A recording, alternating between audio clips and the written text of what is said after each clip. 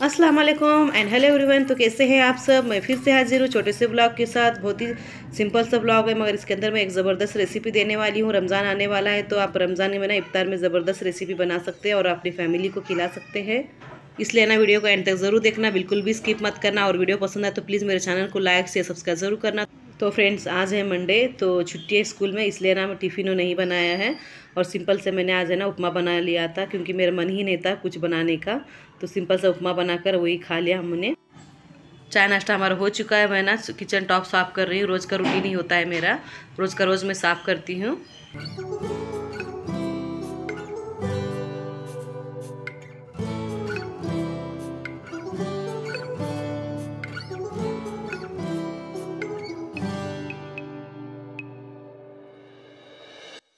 नाश्ता होने के बाद एक घंटे बाद मैं पानी पीती हूँ, तब तक मैं पानी नहीं पीती हूँ। कभी कभी ना पानी पीना भूल भी जाती हूँ तो इसलिए ना बैठ कर आराम से मैं सारा काम होने के बाद पानी पीती हूँ।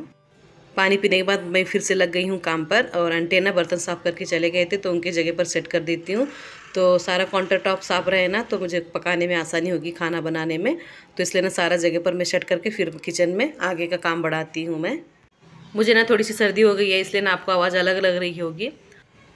फिर भी अभी थोड़ा सा कम लग रहा है, वरना ना वो दो तीन दिन से बहुत ज़्यादा तबीयत ख़राब थी मेरी तो अल्हम्दुलिल्लाह अभी ठीक बेहतर लग रहा है तो इसलिए ना वीडियो थोड़ा सा लेट हो गया आने में तो मैं आज क्या करूँगी, दोपहर में बनाऊँगी चिकन करी और साथ में घी राइस बनाएँगे और नान के साथ खाएँगे, यही हमारा प्लान है।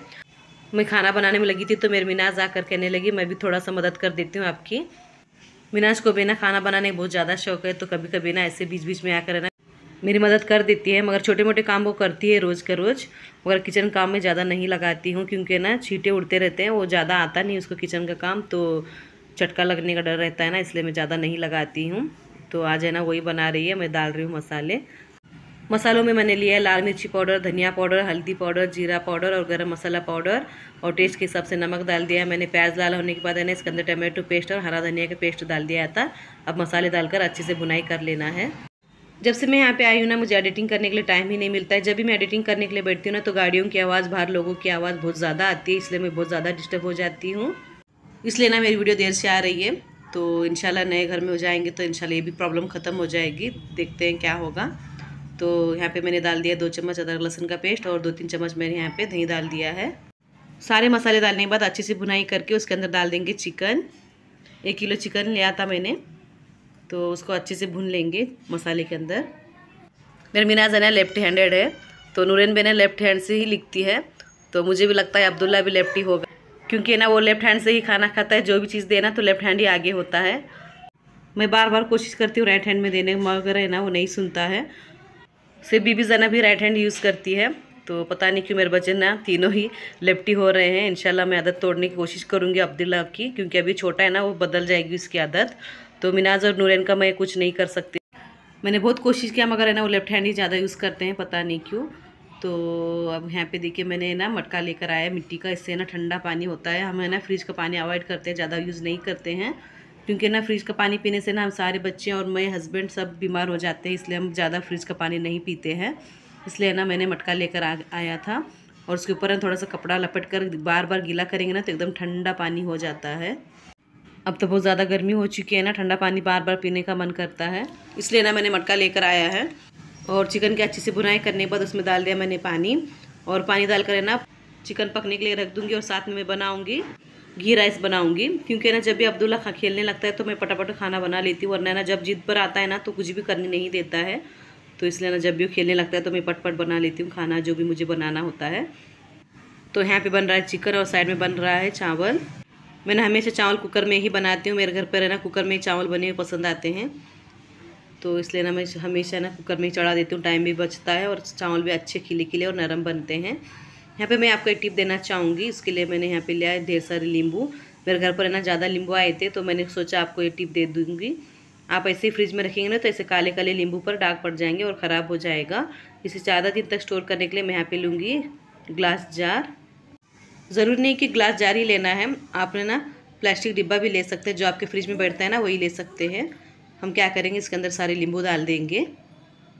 ऐसे करेंगे ना तो आपके नींबू का रस भी ज़्यादा निकलेगा और ज़्यादा दिन तक स्टोर हो जाएगा। इसके अंदर अच्छे से हम सेट करेंगे नींबू को। वैसे भी ना, गर्मियों के सीज़न में ना, नींबू बहुत महँगे हो जाते हैं। आप ना, जहाँ भी सस्ते दिखेंगे ना फटाक से उठा लेना और ऐसे स्टोर करके रख देना। ज़्यादा दिन तक चलेंगे। अभी रमज़ान के महीने में ना रोज़ हमारे घर में नींबू पानी बनता है तो ये बेस्ट ऑप्शन है इसे स्टोर करके रखने के लिए। और इसके अंदर ना एक नींबू नहीं बैठ रहा था तो कट करके डाल दिया है। अब हम क्या करेंगे? इसके अंदर डाल देंगे पानी। पानी के अंदर नींबू अच्छे से डूबना चाहिए, उतना पानी डाल देना है हमें। और है ना, पानी हमें रोज़ का रोज़ चेंज करना है।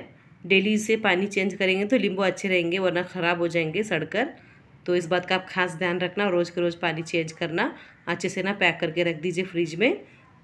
इस टिप को ज़रूर फॉलो करें और बढ़ते अगली रेसिपी की तरफ़, जो मैंने आपको बताया था ना, अच्छी रेसिपी शेयर करूँगी। उसके लिए मैंने दो तीन आलू लेकर और दो तीन गाजर लेकर अच्छे से कद्दूकस कर लूँगी। एकदम टेस्टी और हेल्दी रेसिपी बनती है। रमज़ान आ रहा है तो इफ्तार में ज़रूर ट्राई करना। बहुत ही ज़्यादा पसंद आएगा आपको और आपकी फैमिली को। तो अच्छे से ना मैंने गाजर को कद्दूकस कर लिया है।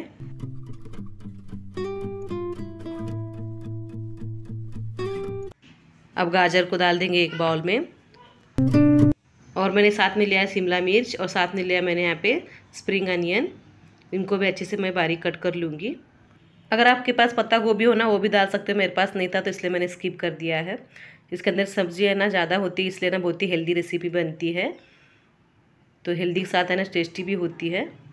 ऐसा नहीं है कि आप इस रेसिपी को सिर्फ़ रमज़ान में ही बना सकते जब भी आपको मन हो तब बना कर खिला सकते हैं या फिर खा सकते हैं। अपने बच्चों को टिफ़िन में भी बनाइए, बहुत ही ज़्यादा खाएँगे। आपके बच्चे जो बच्चे हैं ना, सब्ज़ी खाने के लिए नखरे करते हैं ना, उनके लिए बेस्ट है ये सब्ज़ी खिलाने का तरीका। तो मैंने ना अनियन भी कट कर लिया है और साथ में शिमला मिर्च को बारीक कट कर लिया इसमें डाल देंगे गाजर के अंदर।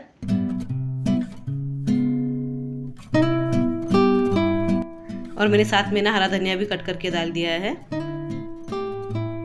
और इसके अंदर डाल देंगे कुछ मसाले। उसके लिए मैंने यहाँ पे लिया टेस्ट के हिसाब से नमक। लाल मिर्ची पाउडर और जीरा पाउडर डाल दूँगी साथ में।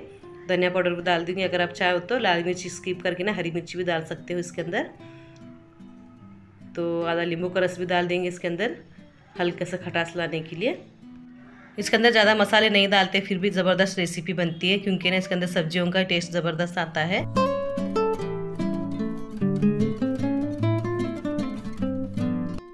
सभी मसाले डालने के बाद हल्का सा मैं मिक्स कर लूँगी। सभी मसालों को मैंने अच्छे से मिक्स कर लिया है सब्जियों में और साथ में डाल देंगे आलू जो मैंने कद्दूकस करके रखा था। आप चाहे तो सब्जियों के साथ ही आलू को डाल सकते हो। मैं ना थोड़ा सा स्लाइस में रखना चाहती थी, इसलिए नहीं डाला है। आलू को हम ज़ोर से मिक्स करें ना तो टूटने का डर रहता है, इसलिए मैंने नहीं डाला है। आलू को भी अच्छे से मिक्स कर लेना है और फीलिंग को थोड़ा रखते हैं साइड में। और मैंने यहाँ पे लिया है आटा, गेहूँ का आटा लिया मैंने। रात को है ना, रोटियाँ बनाया था तो बच गई थी तो मैंने ना डिब्बे में डाल कर रख दिया था एयर कंटेनर में। तो उसी से मैं आज ये रेसिपी बनाऊँगी। रोटी को ज़्यादा बड़ी भी नहीं बनाना है और ज़्यादा छोटी भी नहीं बनाना है। रोटी के लिए आटा गूंदते वक्त मैंने इसमें नमक डालकर गूंद लिया था। मैंने गूंदे हुए आटे से बनाया, आप फ्रेश आटा गूंद लीजिए, उसमें नमक डालकर अच्छे से गूंद कर इस रेसिपी को बना सकते हैं। मैंने रोटी की तरह बेल लिया है, ज़्यादा पतली भी नहीं बनाना है और ज़्यादा मोटी भी नहीं रखना है। और रोटी बनाने के बाद मैं इसके ऊपर स्टेपिंग फैला दूँगी अच्छे से।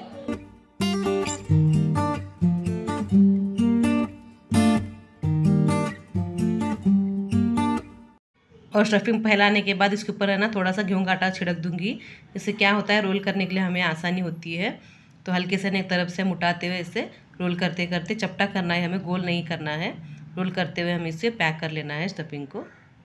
और किनारे उनको थोड़ा सा दबा देंगे, ऐसे है ना स्टफिंग बाहर आने का डर नहीं रहता है।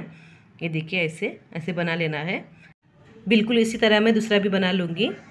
मेरे पास है ना दो रोटियों का आटा बचा था, उसी से मैंने बना लिया है और बची हुई सब्ज़ी ना फ्रिज में रख दूँगी। फिर मैं दूसरे दिन टाइम मिलेगा तो फिर बनाऊँगी। तो ऐसे मैंने दूसरा भी तैयार कर लिया है। अब हम क्या करेंगे? इन रोलों को ना एक स्टील के प्लेट में निकाल लेंगे। और मैंने यहाँ पे ना कढ़ाई के अंदर थोड़ा सा पानी बॉईल होने के लिए रख दिया है। अच्छे से बॉईल हो चुका है पानी और उसके ऊपर रख देंगे ये प्लेट। 10-15 मिनट तक हमें ढककर पकने देना है। और 15 मिनट के बाद देखिए अच्छे से पक चुका है। और अंदर हमने जो भी स्टफिंग किया है ना, सब्जियों का, वो भी अच्छे से पक चुके हैं। अब हम क्या करेंगे, इस प्लेट को ना फ्रिज में रख देंगे पाँच से दस मिनट तक, अच्छे से ठंडा होने तक। उसके बाद हम कटिंग करेंगे इसकी। दस मिनट हो चुके हैं, अब अच्छे से ठंडे हो चुके हैं ये रोल अब हम क्या करेंगे, इनको कट कर लेंगे। एक में से तीन, चार कटिंग कर लेंगे। ज़्यादा बड़े भी मत कीजिए और ज़्यादा छोटे भी मत कीजिए। ठंडे होने के बाद ही कटिंग करना है। अगर आप गर्मा गर्म में करेंगे ना तो ये टूटने का डर रहता है। तो इस बात का ना खास ध्यान रखना। आप देख सकते हैं सब्ज़ियाँ भी अच्छे से पक चुके हैं और ऊपर से जो आटा हमने स्टफिंग किया है ना, वो आटा भी अच्छे से पक चुका है।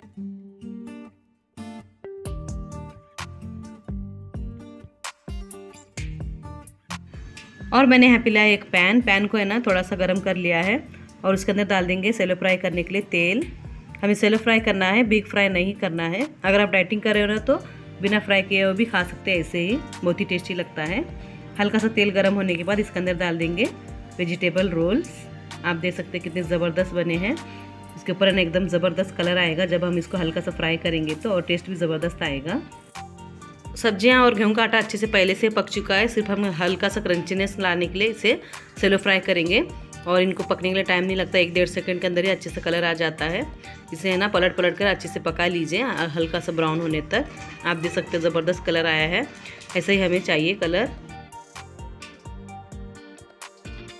जितना देखने में टेस्टी लग रहे हैं ना, उतने खाने में भी टेस्टी होते हैं। एक बार ज़रूर ट्राई करके देखना। हमारा लंच तैयार हो चुका है गर्मा गर्म सर्व करते हैं। और दस्तरखान लग चुका है। आप भी आ जाइए हमारे घर पर खाने के लिए। तो फ्रेंड ये था आज का व्लॉग और आज की रेसिपी मुझे पूरी उम्मीद है आपको ज़रूर पसंद आई होगी। और आज की रेसिपी ज़रूर ट्राई करके देखना, बहुत ही ज़बरदस्त टेस्टी लगती है। तो फिर मिलते हैं अगले वीडियो में, तब तक के लिए अपना ख्याल रखिए, मुझे दुआ में रखिए याद, अल्लाह हाफिज़।